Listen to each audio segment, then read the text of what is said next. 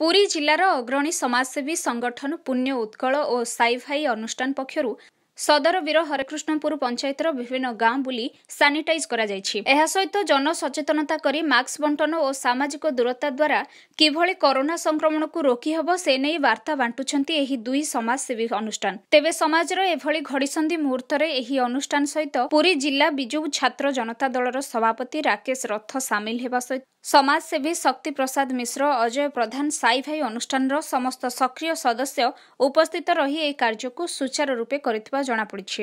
News six Odia ସତ୍ୟ ସଂକଳ୍ପ ଆଉ ସଂଘର୍ଷ।